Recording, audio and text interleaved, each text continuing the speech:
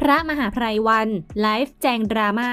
ลั่น อย่าใช้ธรรมะ แค่เทศให้ผีฟัง ไม่มีประโยชน์หลังเกิดกระแสดราม่าเมื่อพระมหาสมปอง และพระมหาภัยวันไลฟ์สดใน Facebook จนตามมาด้วยกระแสวิพากษ์วิจารณ์ รวมถึงพระผู้ใหญ่ที่มีความเห็นในเรื่องนี้ โดยพระเทพปฏิพานวาที หรือเจ้าคุณพิพิธออกมาเตือนว่าพระผู้ใหญ่ไม่ปลื้ม ในขณะที่พระพยอมออกมาพูดว่ามีที่ไหนคนฟังธรรมะสองแสนคน ขออย่าไปตำหนิตามที่ข่าวได้เสนอไปแล้วนั้น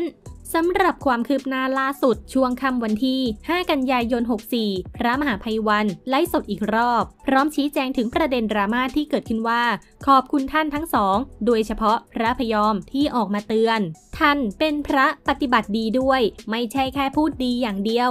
นี่คือพระผู้ใหญ่ที่วิจารณ์พระรุ่นน้อง ท่านให้สัมภาษณ์อย่างตรงไปตรงมา หากบอกให้สำรวม คนเขาดูออกว่าปลอม อย่าปลอม วันนี้อยากพูดอะไรที่เป็นกระแสดราม่าว่าเรารับฟัง แต่วันนี้ชื่นชมคนหนึ่งจากใจ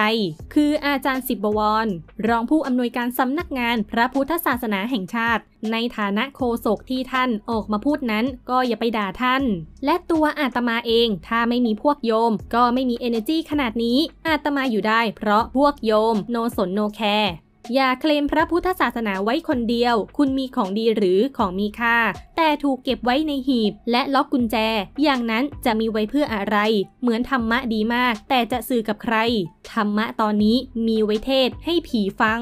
แล้วจะมีประโยชน์อะไร ธรรมะมีประโยชน์ แค่ต้องนำเอามาย่อย เอามาหยอด ของมีค่า ถ้าเก็บไว้ก็อาจจะไม่มีค่า สำหรับการไลฟ์สดชี้แจงกระแสดราม่าครั้งนี้ ของพระมหาภัยวัน มีผู้เข้าชมนับแสนคน อย่าลืมกดติดตามและกดกระดิ่ง เพื่อจะได้ไม่พลาดคลิปใหม่ๆ กันด้วยนะคะ ขอบคุณค่ะ